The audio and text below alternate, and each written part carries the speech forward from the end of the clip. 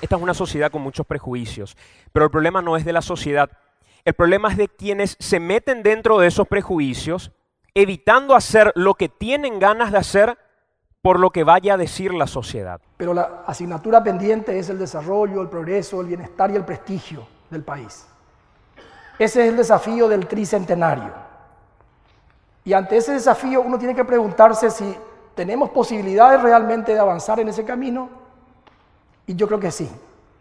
En este momento el mundo le ofrece a Paraguay condiciones excepcionales para que Paraguay pueda avanzar en ese proceso. Hay mucha gente que hace minúsculos actos de coraje. Al comienzo somos, vamos a ser pocos, después vamos a ser miles y después vamos a ser millones.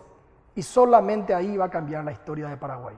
Nos juntamos unos pocos, digo yo, caraduras, porque tenés que ser caradura para soñar no teniendo nada, no, bien, no teniendo oportunidad de crecer, más que yo como mamá trabajar al lado de mi esposo en lo que puedo para que mis hijos puedan estudiar.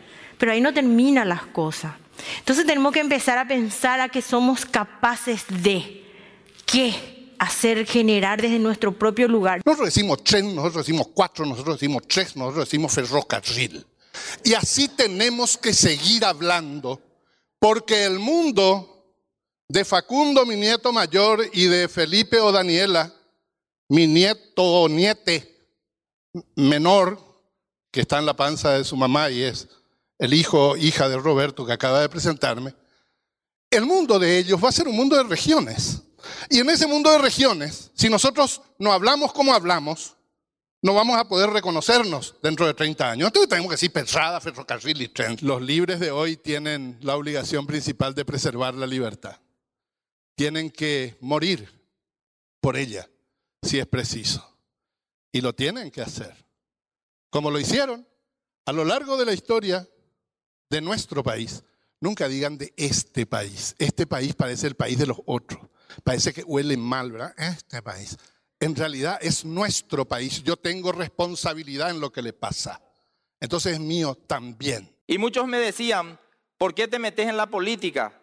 Y yo le decía, porque las cosas están mal y queremos cambiar. Creemos que se puede mejorar las cosas. Queremos demostrar que las cosas se pueden cambiar. Hay muchos desafíos y muchos dicen no van a poder. Y muchos dijeron no van a poder. Hoy día estamos demostrando que se puede utilizar bien la cosa pública. Las personas, las personas, la sociedad que está en una mejor condición, no tiene que ejercer el asistencialismo a las personas o a las comunidades con menos recursos. Lo que tienen que generar son oportunidades.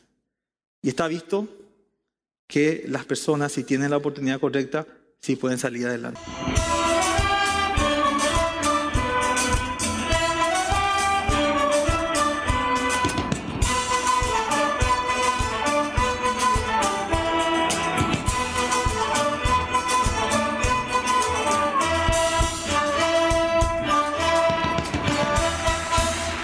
Salieron de los centros de rehabilitación, pasaron por una cancha y se convirtieron en los primeros atletas de élite con discapacidad física del Paraguay.